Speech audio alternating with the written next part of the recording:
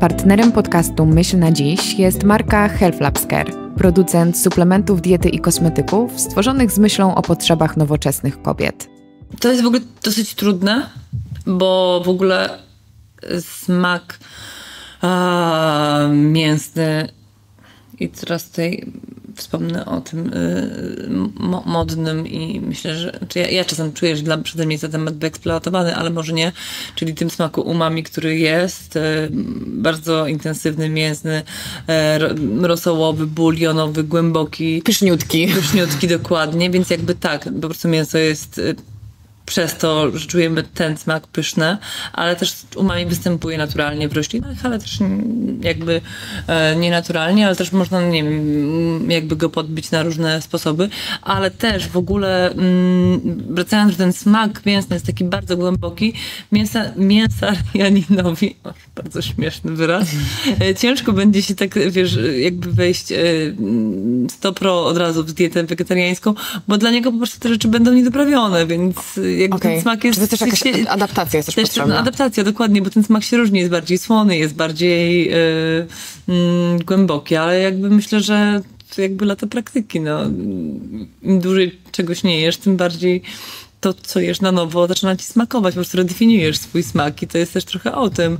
Yy, więc te rzeczy potrafią być, y, jakby, czy są, są pyszne i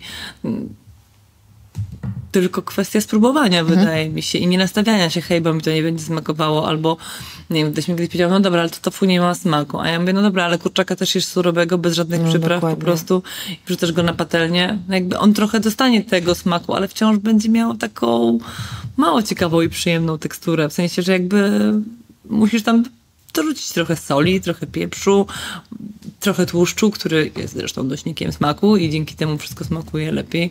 Także ja też właśnie e, chyba myślę, że, że w ogóle e, w rozwijaniu tego smaku roślinnego też trzeba pamiętać w ogóle o tłuszczach i o tym, żeby troszeczkę ich nam więcej dodawać, żeby to było mm, Pyszne. pyszniejsze. A skoro mówisz, że ty mówisz często, to powiedz nam tak super szybko, gdzie jest ten umami smak e, w roślinach? Gdzie jest? Jest, na, jest go bardzo dużo w pomidorach chociażby na przykład. A, I co? I, I w ogóle w sensie nawet już nie, nie w samych roślin, nie, nie w samych roślinach, bo on też występuje wiesz, w sosie sojowym, czy występuje w grzybach w dużej ilości.